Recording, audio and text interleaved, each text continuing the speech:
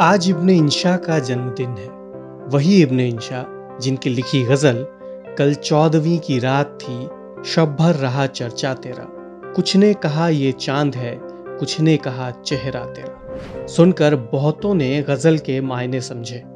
हिंदुस्तान के जालंधर की पैदाइश और बंटवारे के बाद कराची जा बसे इब्ने इंशा पर जितना हक पाकिस्तान का था, बराबर हक हिंदुस्तान का भी था। इंशा को गुलाम अली ने भी खूब गाया। और जगजीत सिंह ने भी। बाद में आबिदा परवीन की सूफी आवाज़ ने इंशा की गजलों को पूरी दुनिया तक पहुँचाया। सिर्फ़ सुना और गाया ही नहीं, पढ़ने वालों ने इंशा को खूब पढ़ा भी। दुनियावी इश्क से लेकर आध्यात्मिक इश्क तक को अपने शब्दों में ढालने वाले इंशा बहुत रियलिस्टिक भी थे। उनके पैने व्यंग इसका नमूना है, खासकर उर्दू की आखिरी किताब। आज सुनिए इब्ने इंशा की इस किताब से दस बेहद असरकारी व्यंग। अंग्रेज़ों के जमाने में अमीर और जागीरदार ऐश करते थे। गरीबों को कोई पूछता भी नहीं था। आज अमीर लोग ऐश नहीं करते और गरीबों को हर कोई इतना पूछता है कि वो तंग आ जाते हैं। भारत में गाय पवित्र जानवर है। भारतीय उसका दूध पीते हैं और गोबर से चौका लिपते हैं। लेकिन भारत में आदमी को पवित्र जानवर नहीं माना जाता।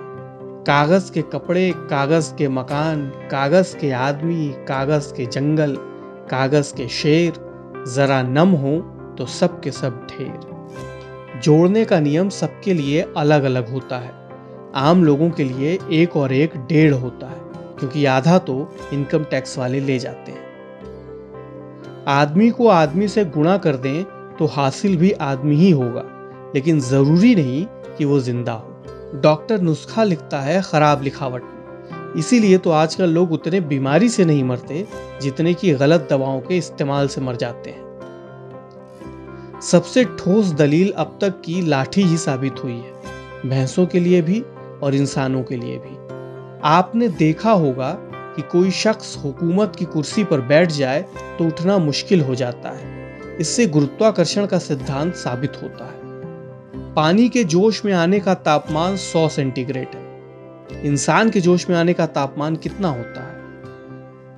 कपड़ों में कपड़ा लंगूटी, न दामन का टंटा की कोई पकड़ सके और न कॉलर की दिक्कत की कोई फाड़ सके। ये कौन सा बैंगन है? ये थाली का बैंगन है। लुढ़कता रहता है, तभी तो हर मौसम में तरोताजा रहता है।